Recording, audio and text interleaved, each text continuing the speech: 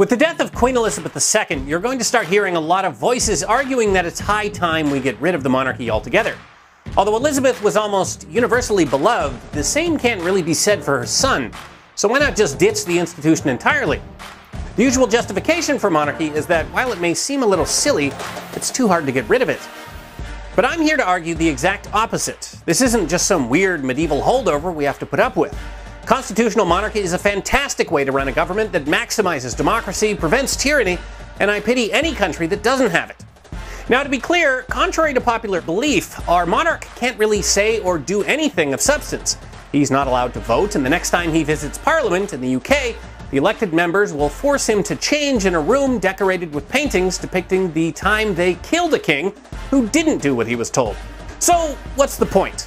By putting a symbolic figurehead in the top job, you have someone who can deny power to others. No matter how politically powerful you get in Canada, you still have to bow to the king, literally and figuratively. You want to put yourself in charge of the military? Sorry, we've already got someone doing that. You think the court should answer to you? They can't because they already answered to this guy. And this isn't some abstract hypothetical. The United Kingdom is surrounded by places which didn't have this check on power, and thus allowed their entire governments to be put in the hands of one guy, who then proceeded to get a bunch of people killed.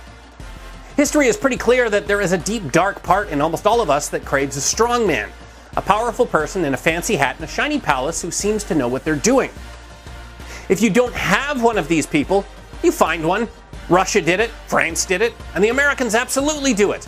The US president gets a lifelong security detail, a billion dollar library erected in their honor once they're out of office, and everyone calls them Mr. President for the rest of their lives.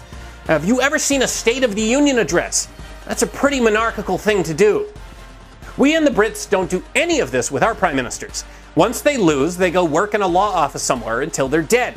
All our demigod reverence is harmlessly redirected towards an old woman who likes horses or her senior citizen son who drives a car powered by wine and expired cheese. No less than George Orwell called the British monarch an escape valve for dangerous emotions. It was 1944, and basically all of Europe was in the hands of authoritarian dictators. And for Orwell, one of the main reasons England had avoided all of this nonsense was because they got all the authoritarianism they needed by cheering for their powerless king now and then.